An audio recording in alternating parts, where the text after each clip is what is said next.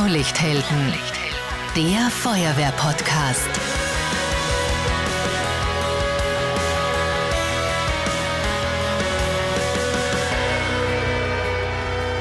Diese Folge wird präsentiert von Hikes. Sicherheit und Komfort für jeden Feuerwehreinsatz mit dem Einsatzstiefel Fire Eagle und Fire Hero. Alle Infos bei eurem Feuerwehrfachhandel. Servus, hallo und herzlich willkommen beim Feuerwehr-Podcast Blaulichthelden. Eine Rauchsäule, mehr als 30 Kilometer weit sichtbar. In Wolfurt, in Vorarlberg, da steht ein Batteriewerk in Vollbrand. Mehr als 15 Tonnen Batterien und Akkus brennen. Im Februar 2024, kurz vor halb acht in der Früh. Dieses Industriegebäude steht in einem Gewerbepark mit vielen anderen Unternehmen. Und dieser Einsatz bringt besonders viele Herausforderungen für die Einsatzkräfte. Kontaminiertes Löschwasser zum Beispiel. Darüber sprechen wir in dieser Folge. Ich bin Marcel Kilic und bei mir zu Gast ist der Feuerwehreinsatzleiter Johannes Batlock. Er ist Kommandant der Ortsfeuerwehr Wolfurt. Johannes, herzlich willkommen. Hallo Marcel, vielen Dank für die Einladung. Und auch bei mir ist Martin Piller. Er ist der Brandschutzbeauftragte bei der Firma Meusburger Immobilien. Das betroffene Batteriewerk ist hier eingemietet. Und Martin Piller ist auch freiwilliger Feuerwehrmann, Zugskommandant und Ausbildungsleiter bei der Ortsfeuerwehr Lingenau. Es ist das erste Mal, dass hier im Podcast ein Brandschutzbeauftragter zu Gast ist. Martin, vielen Dank fürs Kommen. Freue mich sehr. Danke für die Einladung, Marcel. Sehr gerne. Johannes, aus Sicht der Feuerwehr, gib uns einen kurzen Überblick. Was ist da genau passiert bei dir in Wolfurt? Ja, es war ein, äh, ein Vollbrand in einem Gewerbepark, in einem recht großen Gewerbepark, wo mehrere Unternehmen eingemietet äh, sind. Und dort waren tatsächlich bei, bis zu unserem Eintreffen bereits zwei Brandabschnitte in Vollbrand mit einer massiven äh, mit einem massiven Brand, also Flamme und auch Rauchwolke, die weit über die Ortsgrenzen von Wolfurt sichtbar waren und dementsprechend auch äh, uns gefordert haben, beim äh, Löschen und beim Vorgehen äh, einsatztaktisch. Mhm. Ich habe gehört, die Rauchsäule war zu sehen bis nach Rankweil auf jeden Fall und das ist ungefähr 30 Kilometer weg von euch. Ja, die, die Rauchzelle ist tatsächlich über das Ganze, hat man im ganzen Rheintal gesehen. Die ist, äh, war ganz massiv. Es ist auch wirklich extrem schnell gegangen. Innerhalb von ein paar Minuten ähm, von der Alarmierung, wir, der, der Gewerbepark ist komplett über eine Brandmeldeanlage geschützt. Äh, innerhalb von kurzer Zeit äh, von der Auslösung der Brandmeldeanlage, die wirklich sehr, in der Regel sehr schnell ist, bis zum Vollbrand vergingen nur wenige Minuten. Äh, tatsächlich fand bei uns die, die Alarmierung sehr schnell statt, äh, die Erhöhung auf Vollalarm, Vollbrand. Und durch die Geschwindigkeit entstand auch die massive Rauchwolke und die extreme Sichtbarkeit. Also tatsächlich im kompletten Rheintal, und das ist doch ein bisschen, doch groß, ähm, war das sichtbar und wurde der Brand auch wahrgenommen. Wir haben dementsprechend auch Bild- und äh, Videoaufnahmen erhalten, wie das überall sichtbar war und doch äh, in der Bevölkerung wahrgenommen wurde, der Brandeinsatz von uns. Martin, du bist Brandschutzbeauftragter auf diesem gesamten Areal bei der Firma Meusburger Immobilien und dort sind verschiedene Unternehmen bei euch eingemietet, also es ist eigentlich ein gesamter Gewerbepark und dieses Batteriewerk ist Teil davon. Gib uns einen Überblick, was ist das für ein Areal? Was ist dein persönliches Einsatzgebiet dort als Brandschutzbeauftragter? Ich bin als Brandschutzbeauftragter zuständig äh, für die Firma Meusburger, einerseits äh, für das Stammwerk, wo wir Spritzgussformen für den Werkzeugbau äh, fertigen und andererseits auch für die Firma Meusburger Immobilien. Dort ist es so, dass wir angrenzende Fläche zur Verfügung stellen äh, für die verschiedenste Gewerbenutzung. Da kann man sich äh, darunter vorstellen, das ist einerseits das Bürogebäude, ein dreistöckiges Bürogebäude mit einer gemischten Nutzung.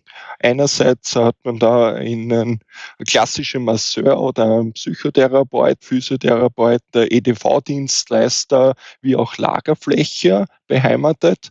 Andererseits gibt es äh, die klassische Gewerbefläche, wo eine Firma in Form einer Zerspannungstechnik Materialien herstellt oder andererseits auch der benannte Batteriehersteller First und Second Life Batterien dort produziert und auch dementsprechend lagert. Hm. Also ein spannendes Einsatzgebiet vom Esoteriker bis zum Batteriewerk bei dir vor der Haustüre. Ganz genau. Ich vermisse deinen Vorarlberger Dialekt ein bisschen. Du kommst eher aus meiner Gegend, oder? Ja, das ist richtig. Äh, das ist auch unschwer zu erkennen. Der richtige äh, Vorarlberger Dialekt, auch wenn ich jetzt im Bregenzer Wald äh, beheimatet bin, fehlt mir.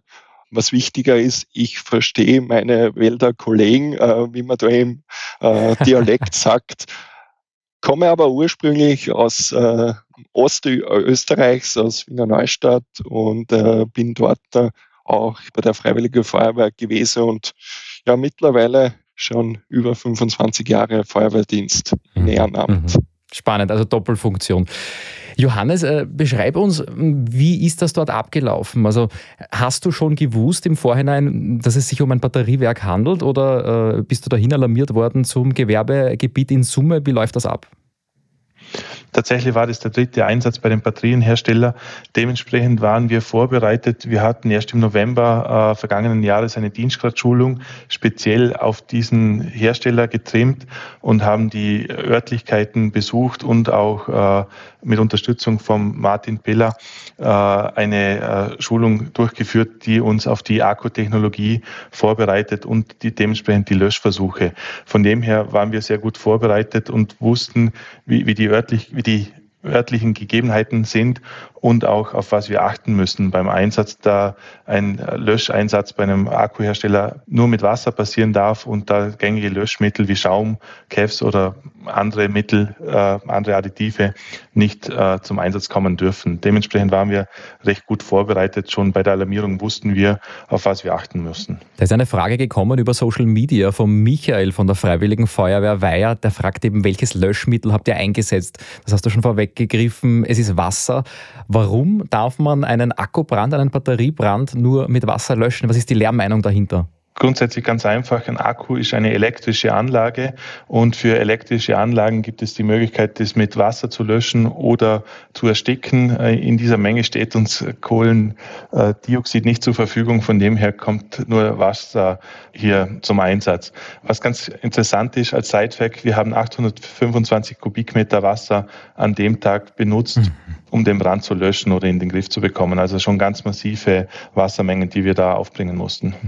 Welche weiteren Dinge sind da dabei bei der, bei der Brandschutzschulung, die du beim Martin bekommen hast, auch bei der Übung im Vorfeld? Was sind so die goldenen Regeln, die ihr da mitbekommen habt im Fall des Falles, wenn bei diesem Gewerbegebiet mal was passiert? Also die goldenen Regeln natürlich die örtlichen Gegebenheiten kennen. Wir wussten genau, wo, wo sind die, wo sind die Brandschutztüren, wo, wo ist was gelagert. Wir, wir wussten von vornherein, äh, dass, äh, wie das Lager ausschaut, wie die Produktion ausschaut, wie das aufgebaut ist und wussten auch ringsum, wo das Hydrantennetz ist, wie die Zubringerleitung ausschauen, Zufahrten, wo wir uns bewegen dürfen und alles. Und da hatten wir einfach eine sehr gute Ortskenntnis. Äh, das half uns natürlich, den Einsatz dementsprechend sauber zu organisieren und auch Strukturen aufzubauen. Wir hatten über 250 Feuerwehrkräfte am Einsatzort und das muss natürlich organisiert sein und dementsprechend saubere Strukturen aufgebaut werden. Auf der anderen Seite natürlich das Wissen um den Akku. Wie bekommen wir so einen Akku in den Griff? Wie äh, löscht man den? Wie, wie, sind überhaupt die Zustände des Akkus? Es ist, macht einen massiven Unterschied, ob ein Akku geladen ist oder ob er entladen ist. Äh, neue Akkus werden immer entladen, gelagert und auch zusammengebaut und erst mit der Funktionsprüfung werden sie einmal geladen und nachher wieder entladen. Bei, beim Brandeinsatz letztes Jahr im, im Mai war das so, dass wir vollgeladene Akkus hatten im Brandeinsatz. Da ist viel mehr Energie dahinter, als wie bei diesem Einsatz, der schon auch massiv war. Aber also von der Tonnage her, ein Akkus viel höher. Aber im Gegensatz, äh, durch das, dass die Akkus nicht geladen waren, war die, die Energie, die äh, herauskam, wesentlich geringer und äh, der Brandeinsatz äh, ein anderer. Also das Löschen war anders als wie tatsächlich von einem vollgeladenen Akku. Und wenn wir so Informationen haben, dann hilft es uns, zum richtig darauf re reagieren und dementsprechend saubere Maßnahmen zu setzen, die wir dann auch getroffen haben. Mhm. Dazu möchte ich jetzt genau gern ergänzen, äh, von Johannes ist jetzt schon angesprochen worden, die Lagerung äh, beziehungsweise der Ladezustand, der ist äh, tatsächlich äh, wichtig, weil in dieser äh, Lade Bereich, äh, also in den Lagerbereich dürfen 10 Tonnen äh, Lithium-Ionen-Batterien äh, gelagert werden und die sind alle in einem Ladungszustand bis maximal 30 Prozent gelagert und somit sind sie auch für den Transport ADR-fähig. Äh, Im Gegensatz natürlich zum Testbereich, wo dann die Ladezyklen einmal voll durchgespielt werden. Da hat man halt wirklich Batterien mit 100% Ladungszustand und somit ist der Energiewert ein ganz ein anderer, wie wenn man jetzt nur unter Anführungszeichen die 30% hat. Eine Frage ist gekommen von der Nadine von der Freiwilligen Feuerwehr Offenbach. Ähm, sie möchte mehr wissen über die Art der Batterien. Was passiert in diesem Batteriewerk eigentlich genau? Ist das ein Produktionswerk? Wird da recycelt? Was passiert da, Martin? Ja, es ist so, wie zuerst schon kurz angesprochen, ist äh, dieser Batteriehersteller darauf spezialisiert, im Sinne der Nachhaltigkeit Second Life Batterien ein neues Leben einzuhauchen. Das heißt, das sind vorwiegend äh, Batterien, die aus dem E-Mobilitätsbereich äh, kommen und dort nach einem äh, dementsprechenden Qualitätstest beim Fahrzeughersteller dann äh, eingekauft werden und ein zweites Leben äh, bekommen im Sinne, dass sie dann äh, zu einem Energiespeichersystem umgebaut werden und äh, klassisch ein großer Stromspeicher für Photovoltaikanlagen beispielsweise darstellen. Zudem hat man natürlich dort auch First Life Batterien, also äh, Zellen, die was neuwertig sind, aber die hauptsächlich äh, Batterien, die verwendet und verbaut werden, sind sogenannte Second Life Batterien. Kann man zur Brandursache schon irgendwas sagen? Das fragt uns die Kathi von der Freiwilligen Feuerwehr Minning. Das wäre natürlich besonders spannend. Die Brandursache ist jetzt noch äh, Gegenstand der Ermittlungen und äh, noch nicht zur Gänze geklärt und äh, somit kann ich da keine näheren Angaben machen. Wie ist denn die Brandcharakteristik? Worauf muss ich mich da als Feuerwehrmann oder als Feuerwehrfrau einstellen? Brennt dieses Gebäude anders als ein gewöhnlicher Gewerbebetrieb? Also ihr habt schon erwähnt, Löschwasser ist das Löschmittel der Wahl. Aber was muss ich da noch beachten? Ist es im Endeffekt von der Herangehensweise äh, wie jeder äh, Brand bei einem Gewerbegebiet oder gibt es besondere Dinge, die da noch auf mich zukommen?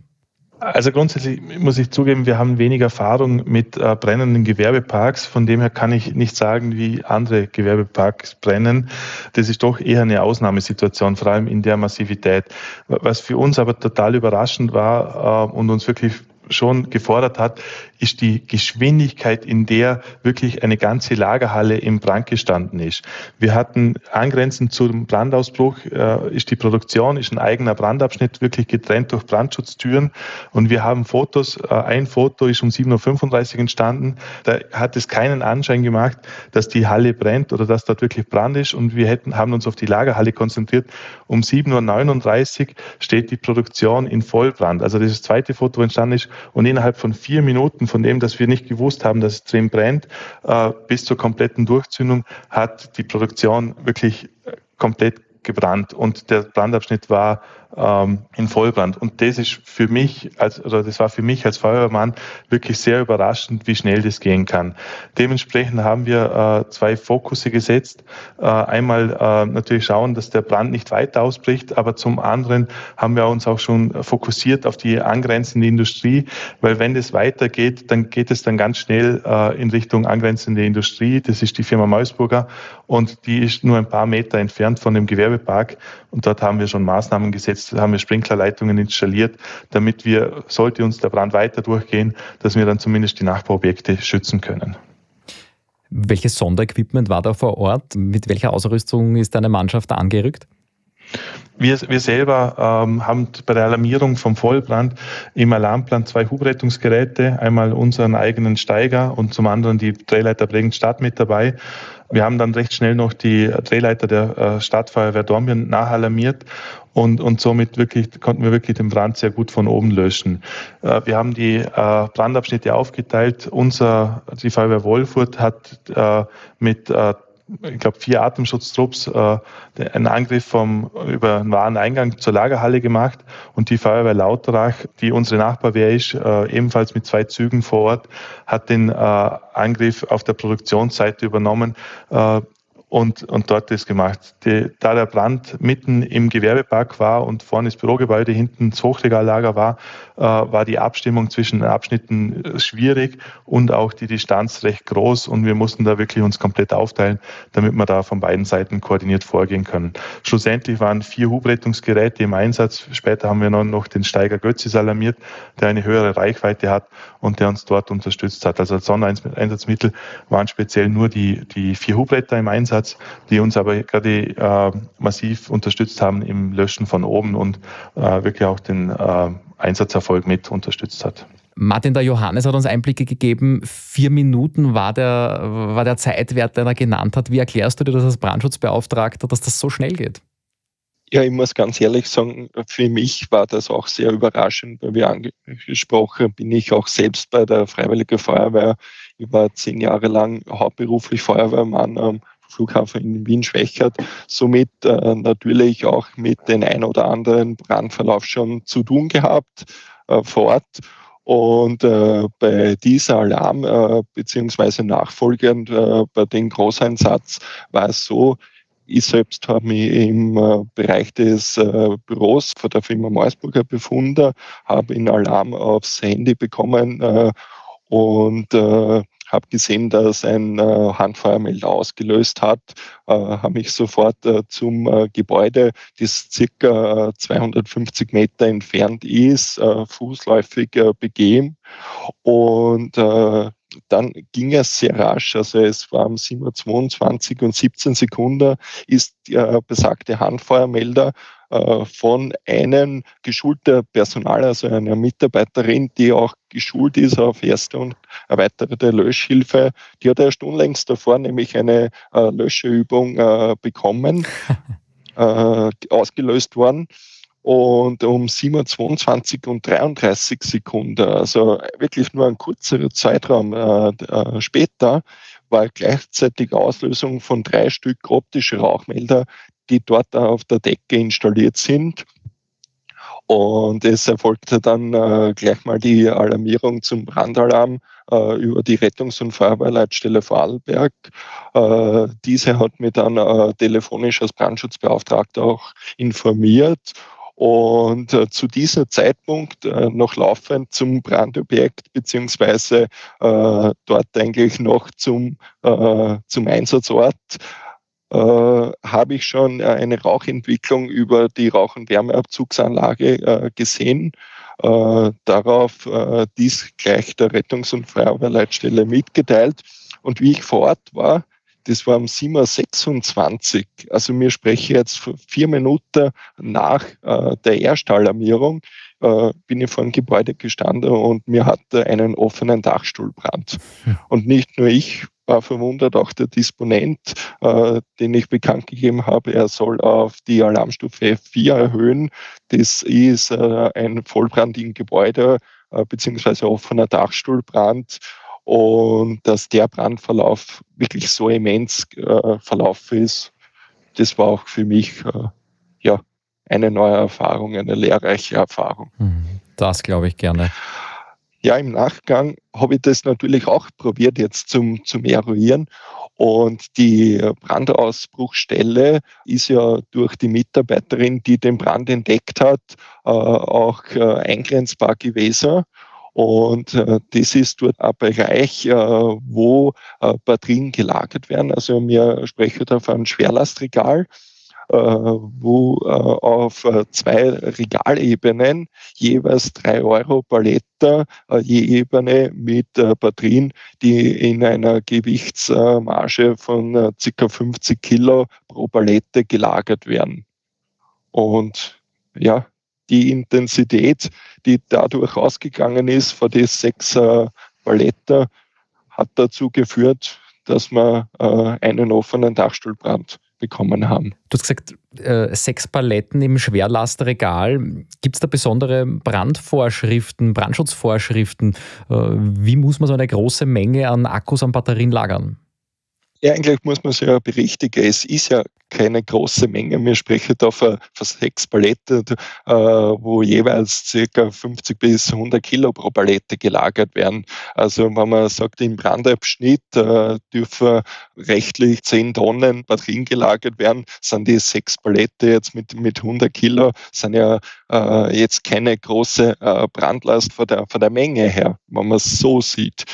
Zudem haben wir von der Gebäudehöhe, wir haben eine große Raum, Raumhöhe über sechs Meter, ist äh, die Produktions- bzw. Lagerhalle, die sind gleich hoch.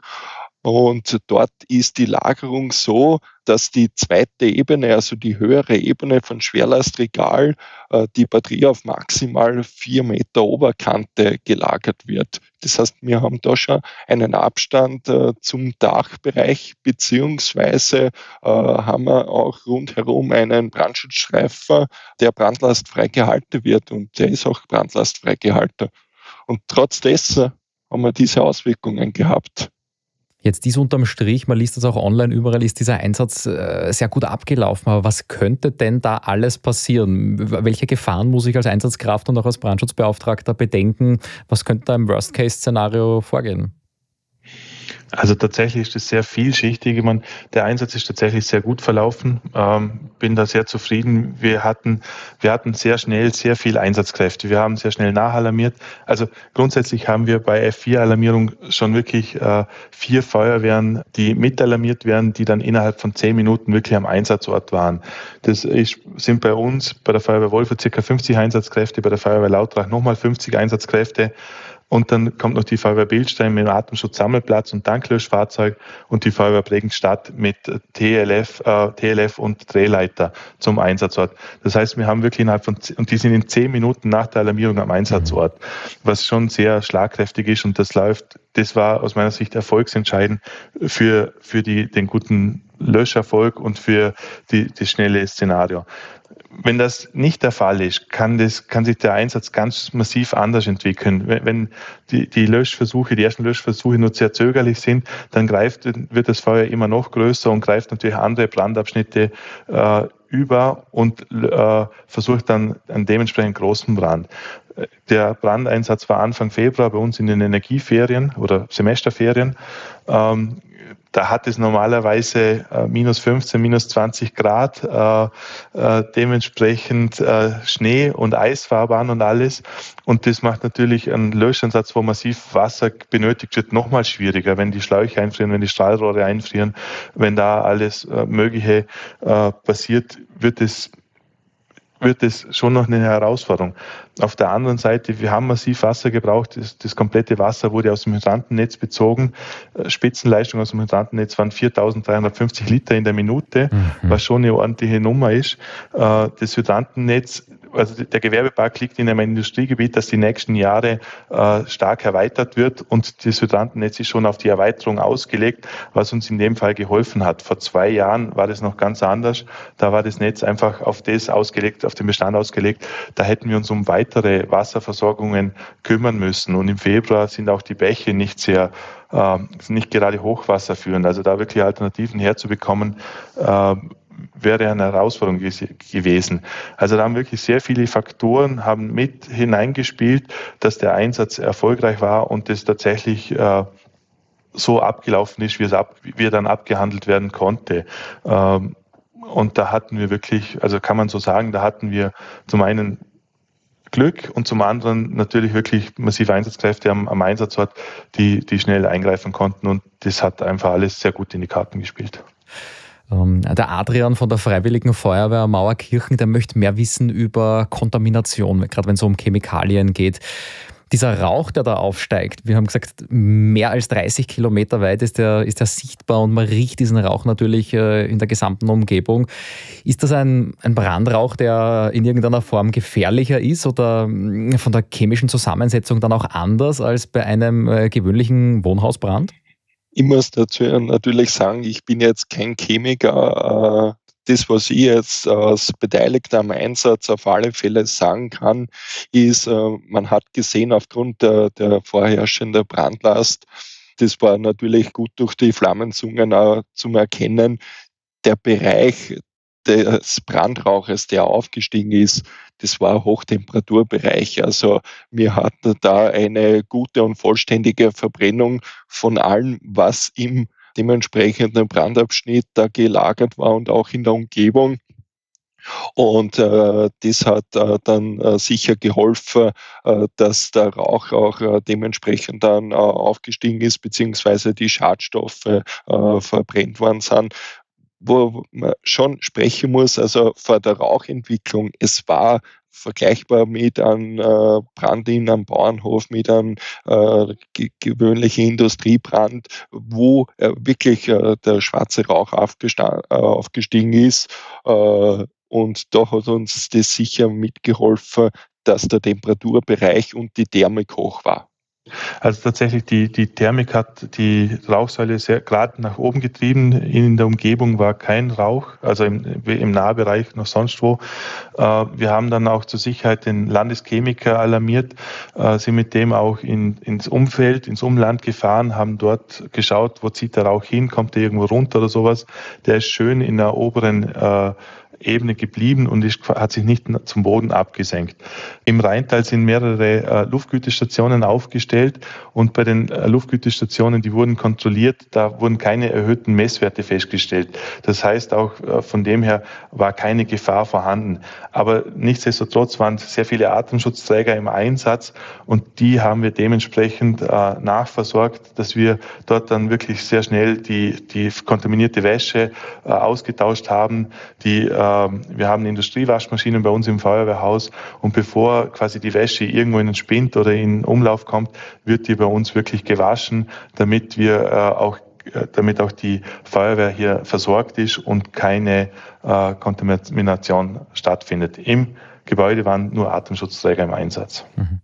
Ist da eine Dekostation, die Kontamination der Einsatzkräfte vor Ort dann auch notwendig nach dem Atemschutzeinsatz? Das wäre jetzt etwas, was uns sehr geholfen hätte, hatten wir hier nicht im Einsatz. Wir haben das äh, äh, quasi manuell aufgebaut, aber nicht sehr professionell. Das ist sicher so ein Lessons learned, wo wir noch besser werden können mit der Schwarz-Weiß-Trennung, dass wir hier sauberer werden. Ähm, aber es war in dem Fall tatsächlich so, wir hatten zwei, insgesamt 22 Atemschutztrupps im Einsatz. Die haben 37 Einsätze gemacht. Ähm, da war es dann wirklich schwierig, das sauber zu dekontaminieren, weil einfach die, die Masse an Atemschutztrupps, mhm. die drin waren, das waren gleichzeitig bis zu zwölf Atemschutztrupps, die im Gebäude waren und gelöscht haben. Ähm, das musste zuerst logistisch gehandelt werden und die Nachbereitung, da können wir noch besser werden. Ja, das ist natürlich ein Thema, wenn so viele Atemschutzgeräteträger da gleichzeitig fertig werden, denen dann auch irgendwann mal die Luft ausgeht. Dekontamination macht natürlich keinen Sinn, wenn ich alles Gerät schon abgelegt habe. Ja. Ähm, also das kann ich mir vorstellen, dass da logistisch mhm. eine, einige Herausforderungen äh, zusammenkommen, die sich in der Theorie dann vielleicht leichter anhören. Wie schaut es aus mit Kontamination des Löschwassers und natürlich auch des, des Brandguts? Da kommen einige Fragen über Social Media. Da merkt man, wie interessiert die Community ist. Also großes Lob äh, echt an der Stelle. Da fragt zum Beispiel der Manuel, es fragen viele, aber Manuel äh, hat das sehr, sehr pointiert formuliert von der Freiwilligen Feuerwehr Adelwagen. Was passiert mit kontaminiertem Löschwasser? Gibt es da eine Art von Rückhaltung? Ist das kontrollierbar überhaupt bei dieser Menge an Wasser, die da hineinfließt? Ja, äh, haben wir gemacht. Wir haben die Wasserwirtschaft mit alarmiert. Die hat uns äh, unterstützt bei der Löschwasserrückhaltung. Ähm, wir haben eine, äh, also zum einen große Mengen vom Wasser, vom Löschwasser sind einfach verdunstet. Das heißt, die, die, äh, das Wasser, das tatsächlich äh, geblieben ist, war nicht, war nicht sehr große Mengen. Ähm, wir haben eine Löschwasserrückhaltung gemacht, ähm, dementsprechend das ganze Wasser gesammelt und dann auch mit der ARA, mit unserer Abwasserreinigungsanlage, haben wir in Abstimmung das Wasser in den Kanal eingeleitet. Also das haben wir nicht eigenständig entschieden, das ist ganz wichtig, weil bei der ARA kann so Löschwasser zu Problemen führen. Wir sind mit ihnen übereinkommen, dass wir das Wasser in den Kanal einleiten dürfen, das Löschwasser, und dann dementsprechend wurde das in der ARA behandelt, dass da keine Kontamination von irgendwelchen Grundwasser stattfindet, beziehungsweise auch anderen Gewässern stattfindet. Aber das ist tatsächlich sehr wichtig bei diesem Einsatz gewesen, dass das sauber funktioniert hat. Ihr habt jetzt viel über die Löschwasserrückhaltung gesprochen. Wie funktioniert das in der Praxis? Wird da eine Art Ölsperre äh, aufgelegt? Sind das große Behälter? Wo bekomme ich dieses Sonderequipment her? Ich meine, jetzt haben wir Hubsteiger, Hubrettungsgeräte, ähm, alles mögliche an Sonderequipment und dann steht man da und äh, fragt sich, wie halte ich dieses Löschwasser auf? Wie passiert das in der Praxis? Ähm, also tatsächlich haben wir uns da recht, recht einfach beholfen. Wir hatten zwei Methoden. Das eine war einfach ein äh, einen Plop, den haben wir ins Abflussrohr äh, hineingesteckt und dann äh, vom Kanal herausgepumpt. Und das andere war, wir haben eine Wassersperre, mit der können wir äh, Bäche sperren. Äh, primär, also primärer Einsatzzweck ist tatsächlich Öl binden oder auch eine, eine Saugstelle aufzubauen. Und das haben wir aber genutzt, um quasi den, den freilaufenden Bach zu sperren und dann dort quasi das Wasser abzupumpen. Und da haben wir auch Sonder, also da haben wir tatsächlich auch einen Entsorger noch geholt, der dann alles wirklich abgesaugt hat, dass da keine Restteile vorhanden oder zurückbleiben, damit wirklich die Umwelt geschützt ist. Und äh, der hat es wirklich gereinigt, gespült und dann nochmal abgesaugt. Also ähm, technisch war es pragmatisch. Also wir hatten, hatten es recht einfach hier, ähm, aber tatsächlich die Nachbereitung hat dann schon ein bisschen gedauert und da mussten wir schon noch äh, Sondermittel äh, anfordern. Ja.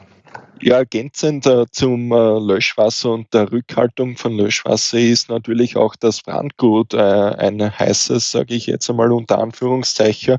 Wir haben da eine Vielzahl äh, von Batteriezellen, die teilweise zerstört sind, äh, teilweise äh, noch im guten Zustand im Brandgut gelegen sind. Und eines, was man ganz klar sagen kann, ist natürlich, so länger die äh, im Freien liegen beziehungsweise äh, beaufschlagt werden mit, mit Wasser oder im Wasserbad jetzt äh, schwimmen, umso kontaminierter wird die Umgebung. Und da ist auch äh, jetzt äh, für, die, für die weitere äh, Maßnahmen und die Reinigung dann, was weiter folgend vor der Einsatzstelle und vor der Brandstelle erfolge, wichtig, dass man gerade in der, in der Phase, wo jetzt die Nachlöscharbeiter sind, äh, diese äh, Batterien äh, dann dementsprechend schon in äh, dichte Behältnisse gibt und somit natürlich eine Vielzahl der Gefahren, sei es jetzt fürs Erdreich, sei es für Gewässer, somit gleich eingrenzen kann. Und meiner äh, Ansicht nach ist es wichtig, äh, sowie die Dekontamination der Einsatzstelle und der Einsatzkräfte äh, ein wichtige ist, was gleich im Abschluss vom, vom Einsatzerfolg dann erfolgen sollte, ist das ein Parallelereignis, wo man sagen muss, also speziell die Batterien, die dort vorhanden sind, gleich mal in sichere Gebinde bringen. Und das ist dann Sondermüll. Wer holt das ab? Wer entsorgt das? wer holt das ab, wer entsorgt das, äh, das soll jetzt nicht unser großes Thema sein, äh, sei es jetzt äh, für die Feuerwehr wie auch für mich als Brandschutzbeauftragter, zählt einmal der vorbeugende Brandschutz beziehungsweise für die Feuerwehr dann die Gefahrenabwehr und wir haben ganz klassisch jetzt die Gefahr, dass ein Erdreich verunreinigt werden kann, dass Löschwasser verunreinigt werden kann und äh, somit äh, das Löschwasser dann ins Gewässer kommt. Und da ist einfach ganz wichtig, dass man diese Gefahren, die was vorherrschen, äh, gleich mal eingrenzen kann und äh, bestmöglich schaut, dass man dies in äh, Gebinde, man hat ja Witterungseinflüsse beispielsweise auch was ist, wenn ich jetzt am nächsten Tag Regen habe und das wird ausgespült. Da mhm. bin ich schon äh, dazu getrachtet, dass das in einer Mulde und abgedeckt ist und somit örtlich äh, nicht im wahrsten Sinne des Wortes wegschwimmen kann. Johannes, da möchte der Luca von der Feuerwehr Locher wissen, wie lange hat es eigentlich gedauert, jetzt bis das Feuer unter Kontrolle war? Da hast du schon ein bisschen was dazu erzählt. Aber bis zum endgültigen Brand aus oder der Phil von der Freiwilligen Feuerwehr Kaltenkirchen will wissen, ja, wann war denn der Löscherfolg oder Brandaus dann erreicht? Mhm. Tatsächlich, äh, das hat sehr lang gedauert, bis wir Brand ausgeben konnten grundsätzlich war es so, nach 40 Minuten wussten wir, dass wir den Brand so unter Kontrolle hatten, dass die Nachbarbrandabschnitte geschützt wurden. Also wir konnten uns so auf, den, äh, auf die Stellen des Brandausbruchs äh, konzentrieren und haben dort weiter gelöscht. Die Schwierigkeit war tatsächlich, dass in diesen Bereichen die Schwerlastregale, die Martin erwähnt hat, zusammengebrochen sind und die ganzen Zellen quasi auf einem großen Haufen waren und dann äh, durchgebrannt sind. Das hat mehrere Stunden gedauert. Wir sind, waren da wirklich, also circa um 8 Uhr morgen, 8, kurz danach wussten wir, wir hatten, hatten den Brand im Griff. Und das hat dann wirklich bis abends um, um 21 Uhr gedauert, um in die, in die Haufen vorzukommen und, und wirklich alles zu löschen. Zum einen war das Hallendach einsturzgefährdet, zum anderen war einfach eine extreme Hitze. Wir, wir mussten dann teilweise wirklich mit Backer die, dieses Hallendach abtragen, damit wir zu den äh, brennenden Zellen kommen, weil einfach da die Gefahr zu groß war, da zu, zu tief hineinzugehen. Nachdem um 21 Uhr in der Nacht haben wir dann mit den Abbrucharbeiten, haben wir die Abbrucharbeiten beendet und haben dann wirklich noch die ganze Nacht eine Brandwache gehabt am Einsatzort und die musste dann wirklich drei, vier Mal noch Nachlöscharbeiten machen. Zum einen im, im Bereich der Akkuzellen, zum anderen war aber auch das Büro, das gebrannt hat im dritten Obergeschoss. Das war sehr, sehr verbaut, war äh, ist eine Holz-Stahl-Mischkonstruktion und da haben die äh, äh, Holzträger immer wieder zu brennen begonnen. Und da mussten wir oft nachlöschen mhm. und war grundsätzlich auch eine sehr große Baustelle. Schlussendlich Brand aus, offiziell war um 6 Uhr Uhr am Morgen, also 22,5 Stunden nach unserer ersten Alarmierung. Unglaublich, Mammutaufgabe. Genau. Ja. Das ist eine Mammutaufgabe nicht nur für die Feuerwehr, sondern auch für uns dann als Eigentümer und äh, für die Nachbereitung. Weil jetzt ist das Feuer mal gelöscht, jetzt ist Brand aus. Was folgt danach? Äh, wir haben das Löschwasser, das aufgefangen worden ist, äh, das, was äh, dementsprechend zurückgehalten worden ist. wir haben frühzeitig Messungen in Auftrag gegeben, dass man auch aussagekräftige Messwerte dann hat, wie gehen wir mit dem Löschwasser um. Aber es ist ja nicht nur das Wasser jetzt verunreinigt, man muss ja davon ausgehen, dass angrenzende Erdreich verunreinigt ist. Äh, und wir sprechen da im, im Brandgut selbst natürlich von mehreren tausend äh, Zellen, äh, Lithium-Ionen-Zellen, die in verschiedensten Zuständen dort gelagert sind. Wie bereits erwähnt, ist noch das Löschwasser dort vorhanden. Also da geht es wirklich darum, sobald die Einsatzstelle gesichert ist und von der Feuerwehr das Brand ausgegeben worden ist, dass man die Einsatzstelle dann danach bereitet und äh, in Absprache mit den Behörden gleich die äh, verschiedenen Sicherungsarbeiten macht. Äh, einerseits Messungen durchführt, andererseits äh, das kontaminierte Material äh, dann abträgt, beziehungsweise dann auch schaut, wo habe ich überall Verunreinigungen. Von der zuerst angesprochenen Thermik, es war bei uns am Stammwerk äh, sind im Bereich des Daches immer wieder äh, richtige Brocken ge gelegen, äh, wo man gemerkt hat, die sind vom Dach bzw. aus dem Brandgut gekommen und über die Thermik so aufgestiegen, dass die mehrere hundert Meter weit entfernt gelegen sind. Und das ist alles äh, Material, das was dementsprechend dann nachbereitet werden muss äh, und äh, dann aufgesammelt werden muss. Sprechen wir noch über die gesamte Einsatzlogistik. Äh, Johannes, du hast erwähnt, 250 Feuerwehrleute waren vor Ort. Das wollte der Fabian wissen von der Freiwilligen Feuerwehr Oberwölbling.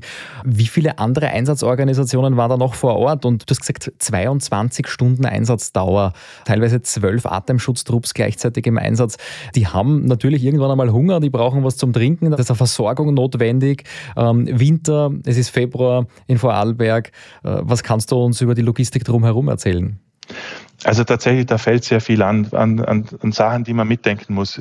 In Summe waren 15 Organisationen dabei, angefangen von unserer Bürgermeisterin, Landesfeuerwehrinspektor, Bezirksvertreter, die Landeswarnzentrale war vor Ort, Polizei, Rotes Kreuz, äh, grundsätzlich Rotes Kreuz hat uns wirklich da auch sehr gut unterstützt. Zum einen so hätte es Verletzte gegeben, wären die versorgt worden, aber auf der anderen Seite haben sie uns mit äh, warmen Getränken und, äh, und auch Speisen versorgt, dass wir wirklich gegessen haben und für die, Ein die Einsatzdauer von über 22 Stunden durchhalten konnten.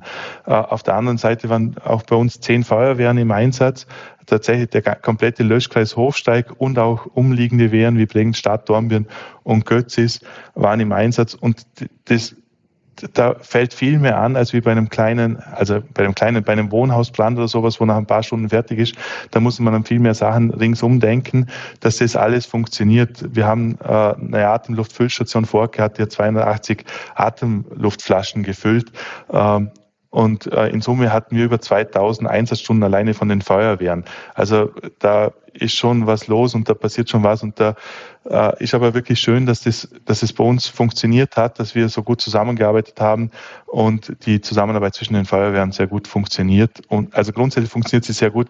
Und bei diesem Einsatz hat sich das nochmal gezeigt, dass das äh, einfach gut ist, dass wir eine gute Infrastruktur haben, motivierte Einsatz, motivierte und gut ausgebildete Einsatzkräfte, sonst wäre äh, das nicht möglich gewesen, das äh, zu, zu diesen Brand zu löschen. Da möchte ich jetzt gleich ergänzend dann ausführen. Äh, du musst ja großes Lob an die Feuerwehr aussprechen. Äh, einerseits natürlich die, die Logistik, die was hinter diesem Einsatz steckt, ist natürlich eine enorme und äh, der Einsatzerfolg kann auch nur gewährleistet werden, wenn man den strukturiert abarbeitet. Und wir haben aus den Erkenntnissen von letzter Brandeinsatz zum Beispiel ganz klar auf die Kennzeichnungsweste auch gesetzt, wo ich als Brandschutzbeauftragter, als Fachberater jetzt vor Ort dann vom Betrieb aus äh, zuständig war und gekennzeichnet war, dass ich die Fachinformationen, die mir als Brandschutzbeauftragte ja bekannt sein sollte, äh, an die Einsatzleitung weitergebe. Wir haben verschiedenste Institutionen äh, vor Ort gehabt und da ist schon wichtig, wenn man eine Struktur hat und da kann man durchaus ein Lob aussprechen. Ja, ja vielen Dank. Also natürlich freut uns das. Und das zu Recht. Johannes Batlock, vielen Dank für den Einblick in diesen komplexen Einsatz. Dankeschön. Sehr gerne. Vielen Dank für das Gespräch. Sehr gerne. Und vielen Dank auch Martin Pieler. Das war eine Premiere. Das erste Mal ein Brandschutzbeauftragter zu Gast hier im Feuerwehr-Podcast Blaulichthelden. Anlassbezogen nach so einem großen Einsatz. Freut mich ganz besonders, dass du dich bereit erklärt hast, hier dabei zu sein. Dankeschön, Martin. Ja, danke Marcel, dass ich äh, Teil der Premiere sein durfte. Und für mich als Brandschutzbeauftragte ist die Quintessenz, Brandalarme gehören ernst genommen, weil wie gesagt, es können auch Großbrände sein. Absolut. Dankeschön. Ja, vielen Dank auch an euch fürs Zuhören. Wenn diese Folge für euch genauso spannend war wie für mich, dann teilt sie ganz einfach mit Freunden, Familie oder zum Beispiel in eurer Feuerwehr-WhatsApp-Gruppe. Das geht ganz einfach über das Teilen-Icon in eurer Podcast-App oder kopiert einfach den Link in eine WhatsApp-Gruppe. Abonniert Blaulichthelden auch sehr gerne, zum Beispiel auf Spotify oder Apple Podcasts, dann seid ihr in Zukunft immer up to date. Wir hören uns hier wieder in zwei Wochen. Bis dahin, ciao, Servus und gut wer.